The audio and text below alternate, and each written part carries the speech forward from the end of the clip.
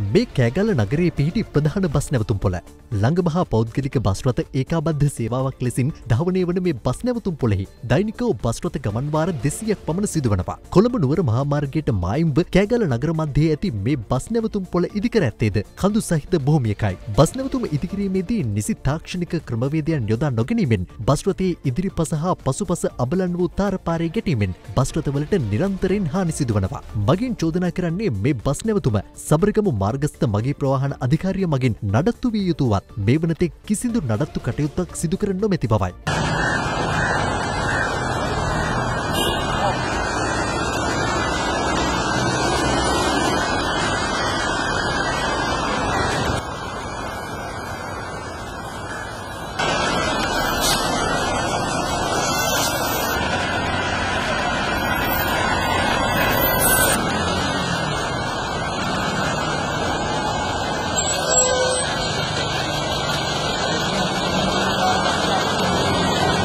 Bus නැවතුම් පොළ පුරාම විශාල වලවල් නිර්මාණය වී ඇති අතර ඒ හේතුවෙන් වර්ෂාව පවතින දිනවලදී මගින්ට බස්ටොතවලට ගොඩවීම පවා අසීරු වී තිබෙනවා.